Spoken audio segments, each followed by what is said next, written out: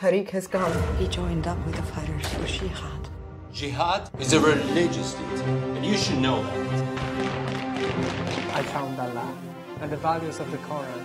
My life is broken into parts, before and after the fact. Captain Antonio Balestra. You will have a reward soon. We've chosen a wife for you. We're gonna have a baby. We're working with this psychologist. You know what? You should come with me. Very pleased to meet you, Doctor. Since I've met the doctor, I'm starting to see the light at the end of the tunnel. You let your wife decide everything. Women have more good sense than we do. The girls sent away. Where did they go? They became common property of all the fighters. I don't think the Prophet would want this. This is a letter from my parents. I think I might have made a mistake. After killing that man,